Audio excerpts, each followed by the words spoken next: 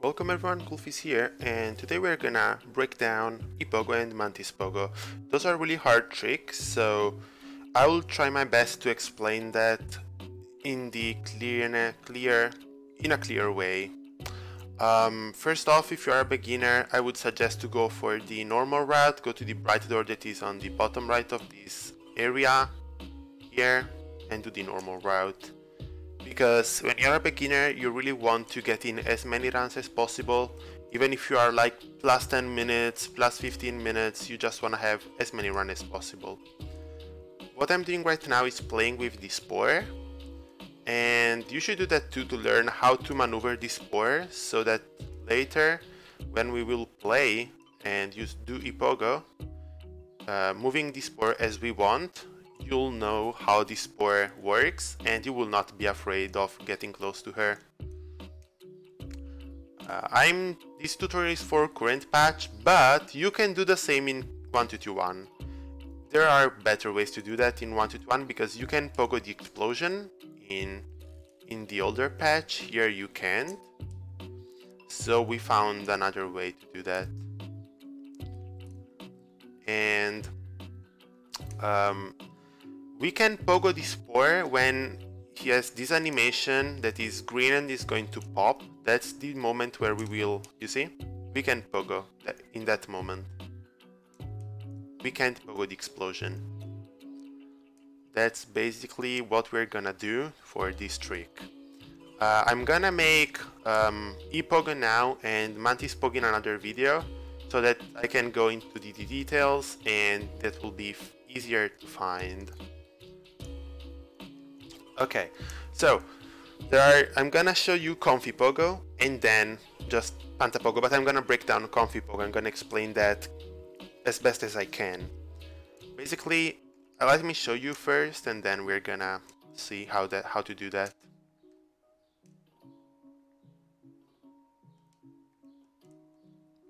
Okay, I bumped on the wall, but on the ceiling.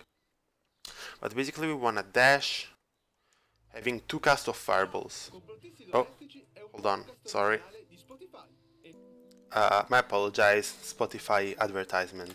Anyway, um, we want to come here. I'm gonna show you now Comfy Pogo with two cast of fireballs. I'm, I'm having a debug mode. If you don't have debug mode because you're on console, when you have to replenish your soul, I would suggest just go here. Those enemy respawns when you kill them and you exit and re-enter the room. Or you can, for example, um, kill those one. Those one respawn too. Basically, you can you can replenish your soul even without the dream nail here. Okay, with two cast of fireballs, we're gonna make this way of comfy pogo. Um, when this spore is here, where I am right now, when when it's When the spore will reach this position, more or less, so when it's between those two mushroom in this gap, we're gonna dash on the left to this wall, okay? Then we're gonna let the knight fall down and we're gonna go a little bit on the right in this position and we're gonna fireball stall. So the knight will stop and the fall speed will start again from zero. We will let the knight fall a little bit more, not too much. Uh, this is my setup, there are different setups. We're gonna let the file fall a little bit more and then we're gonna dash to the right, under this ledge. I can't show you the hitbox because we don't have that in debug mode for current patch, but we will find around here. We're gonna fireball again for air stalling Meanwhile, the spore will have to something above on those lines without hitting the wall, and we'll find around here. If we pogo from here, we might not be able to hit the spore. We might be, but we might not. So we're gonna do a little shenanigans going on to the right, just tapping right and pogoing right. And as soon as we do that, we're gonna go hold left and dash again. So Let's recap. We're here, Spore reaches that this position, we dash to the left. We, we fall down and we go around here, Fireball, dash on this side, fireball, pogo, dash again. Now I'm gonna show you. So, dash, air stall, dash, air stall, pogo. Let me try to show you at slower speed. I don't know if I'll be able to, because trust me, it's harder to play at slower speed if you are used to play at normal speed because of muscle memory messed up. Let me try to show you. Dash, air stall. Uh, yeah, you see let me try again one more time, but otherwise, it, it is hard. If you need to play on slower speed to learn the trick, that's fine, but I'm telling you, you'll have to rebuild your muscle memory from scratch, because you can play slowly to understand what's going on, but then you have to go at Okay, done it. I was speaking slowly too. I just realized. But yeah, then normal speed is the way to do to do it. I'm gonna show you one more time. Dash, air stall, fireball, and those stuff. Now I, I fall down too low. Um, that's why I messed up. Here I went too much on the right. I was probably able to pogo without doing the stuff. So yeah, this, this is what happens when you go from full speed to slower speed and then go back. You have... You, your muscle memory is just freaked out. This is with two fireball. I'm gonna show you with you with the free fireball variants. Is easier, but you lose like few parts of seconds like 0.2 for 0.3 gathering more souls you can gather soul from the mushroom that are in the room um, after leg eater or you can kill them with your nail they are six nail hits of souls that are a lot and there is no shame at using this free fireball setup there is no shame at the time being on 27 of May uh, 2021 POEM as the world record and uses a free fireball setup. So there is no shaming doing that. No shame at all. But it is a little different. What happen what changes is that we have to dash a little earlier because we will need more time with the fireball stalls. So we dash around here. When the spore is at the start of that mushroom, when uh, instead of dashing when the spore is here, we will dash when the spore is around there. This will make the difference between uh, the 2 and 3 fireball. Otherwise it's pretty much similar. The is here. We dash to the left. We fall down, fireball once. Dash to the right, fireball twice, and at that point we don't need to do these shenanigans and go a little bit on the right, but we just pogo normally and dash on the left. We don't need to do, I repeat, we don't need to do the this part going to the right. Okay? Let me show. You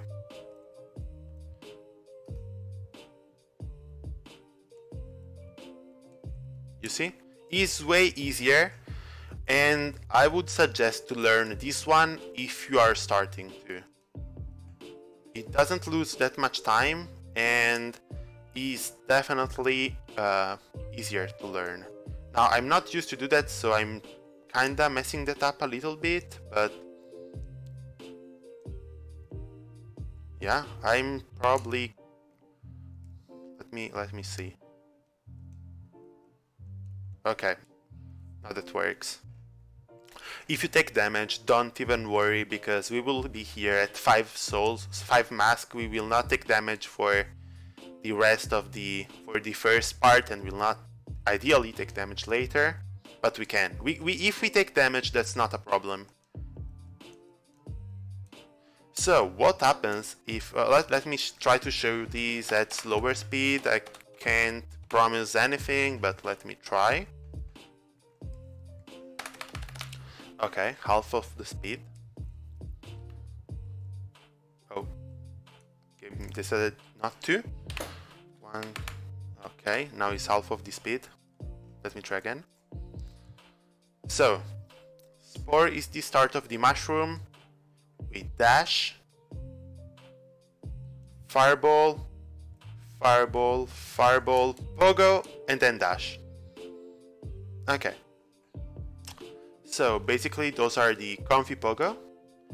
And it will take some time to learn. It will take some time but will help.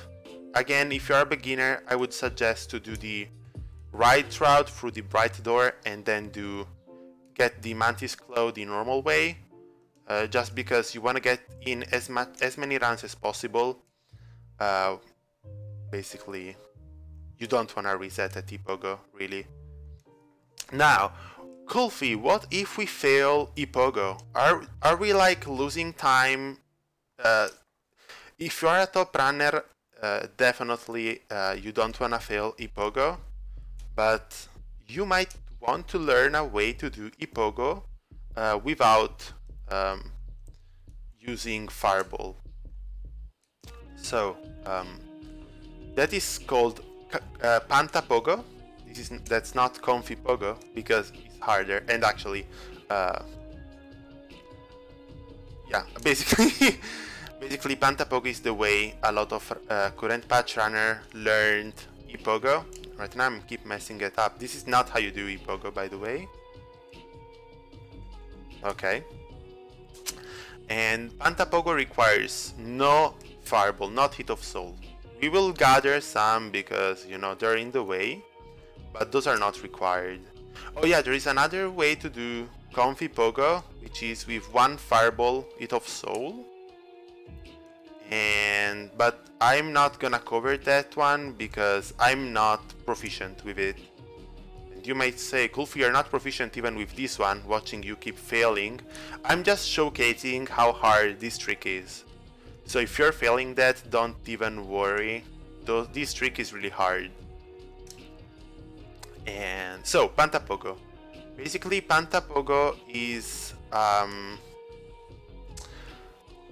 requires more practice and what we're gonna do is we're gonna drop off the ledge once the spore reaches this part like, like right here uh, you can't really see that okay when the spore reaches this part between the, the, the black gap between these mushrooms up me up above here we're gonna just walk off the ledge and drop around here more or less so we're gonna do this thing.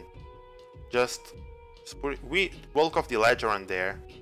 Okay, this is the first part. Second part is when the spore reaches this notch, this one, we're gonna dash, pogo, dash, pogo, and then we're gonna be at the right high let me try to show that. I'm not gonna cover this too much because... Okay, this is Pantapogo. You can take damage, you, you can do the Teethless, but you don't really care because we have full health. You can do even a um, V-Sync uh, trick. I don't really remember how to do that, but let me try that like once. So basically, uh, VSync um, makes the F uh, locks your FPS, and we're gonna damage tank this spore. We jump, um, pogo the spore, and then the explosion will send us upwards. And if you have a 60 FPS monitor, you can, or even if you're on console, you can do this trick, damage tanking this spore I apologize, I don't really know how to do that. I I actually learned Comfy po uh, Pantapogo. Okay, there you have it. There you have it. Um, I wouldn't suggest this one. You can do that. It's pretty free once you know how to do that. But I would suggest to learn the this Comfy Pogo or the one with free Fireball. And I would say that this covers pretty much everything you need to know for Epogo. Oh, let me just show you the right way if you are a beginner. So you go this way, you lose like not even one minute or so if done correctly and so um, you should go for this one if you are still learning in your runs then in practice just go for in practice learn Epogo uh, otherwise just um, just just go for this one at the start there we are then we go up and stuff. But I'm gonna cover that in the second part of the video where we're gonna see Mantis Pogo. Because that's another hard trick that will complete uh, our fungal wasteland tricks for almost any every single uh, speedrun any percent all skills and those are basically the only ones that I remember that I play at the moment so um, I think trending is different, I'm not sure though. But yeah, anyway, this is like the Epogo. Hope that I really helped you. Um, I hope that I explained it in a good way. Probably there are people better than me at the game. I mean, definitely better than me at the game and probably better at explaining. So uh, feel free to ask anything in the comment section, in uh, hit me up on Discord, on Twitch, or um, hold on. Okay, again, advertisements on Spotify. So I was saying, basically, uh, I, I really hope that if you you can, if for any kind of help or uh, how do you stuff, um, comment section is free. I will I check that uh, usually uh, but you'd better find me on Discord or Twitch. Even the this you can, if you prefer, uh, asking that on the um, official Discord. The speedrun community is really open to help people. There are a lot of guides, um, and basically, good luck, have fun. I think I said everything that I wanted to.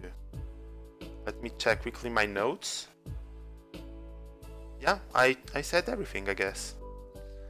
So, ladies and gentlemen, thank you for for the time and remember to smile and have a great day. See ya.